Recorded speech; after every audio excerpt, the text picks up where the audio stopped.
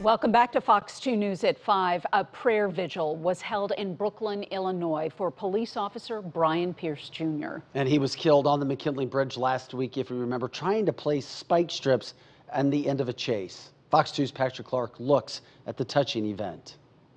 On this Wednesday, August 11th morning, community members and law enforcement honor a fallen officer.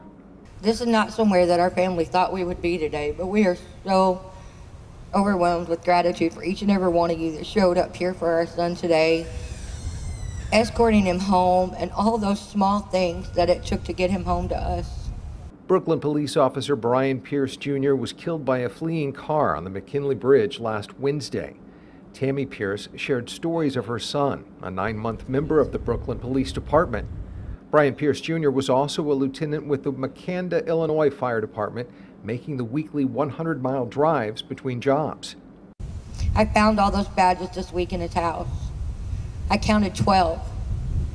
And as I, this week, as I put those in shadow boxes to hang on my wall, to remember my son and everything that he achieved, Described as a kind and dedicated public safety professional who made service to others his life's purpose, Pierce, while only 24 years old, had volunteered with the Zeigler Police Department and the Franklin County EMA and the Spillertown Police Department.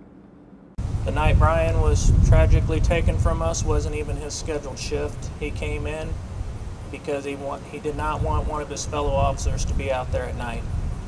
So for him to drive two hours each way every day showed the dedication that he had to this profession.